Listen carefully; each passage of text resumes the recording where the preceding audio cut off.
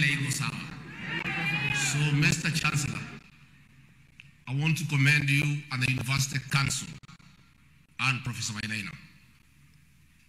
Last year, early this year, before the new administration came in, the lords of impunity, state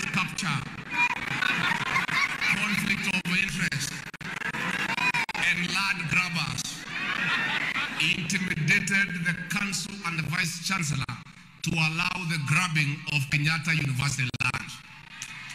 These great men and women said no.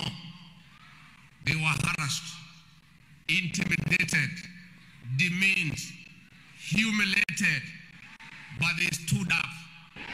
Can you give a clap to the University Council and Professor Ed? I want to tell you, the great people, had things gone wrong, William Ruto was not elected as president, your land had already been grabbed after Professor Wainaina and the council were removed. We have hence instructed the Ministry of Lands to cancel those allocations and reinstate the lands to Kenyatta University. And President William Ruto made a promise during the campaign that if elected president, one of the things he'll do is to reinstate the University Council and Professor Wainaina as Vice Chancellor.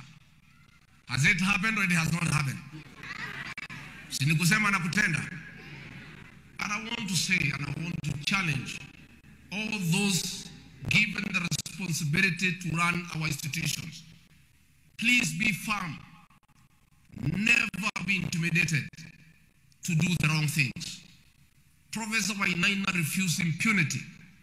He refused to cooperate in allowing people in the previous administration to grab land for this university.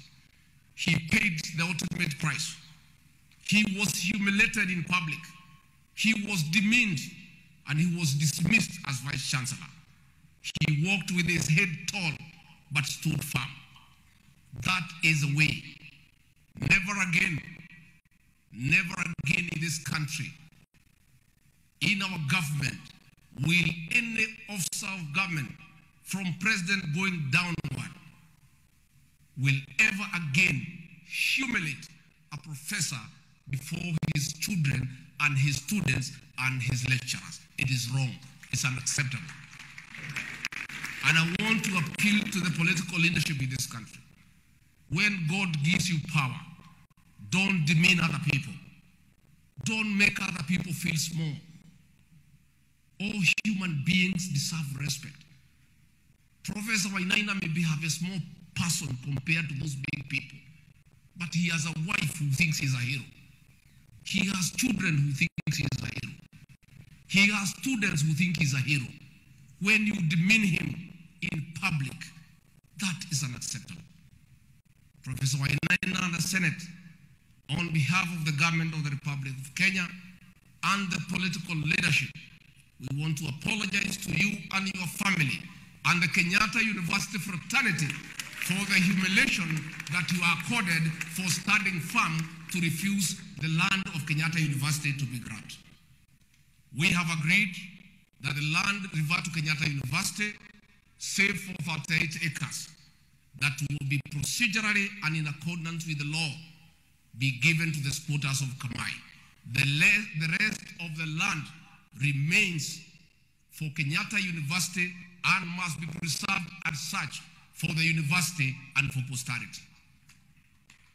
Finally, we are aware of the little friction and discomfort between the university management and the referral hospital. We have called a meeting in January to sort it out. We'll call the university management, the referral hospital management, the cabinet secretary for health, and the cabinet secretary for education to sort out that matter amicably for the benefit not just of the university but for the people of Kenya so that we have a seamless institution that is operating in the manner that it was envisaged when it was set up. So I request request you to give us some bit of time. When we come in the new year, we shall be able to out that matter. Again, this university is respected. Most of us, we went through the hands of teachers who got their degrees in these great institutions. And therefore, we are indebted to this institution. I ask you to continue bringing up graduates at all levels, masters, PhD, for the benefit of this country.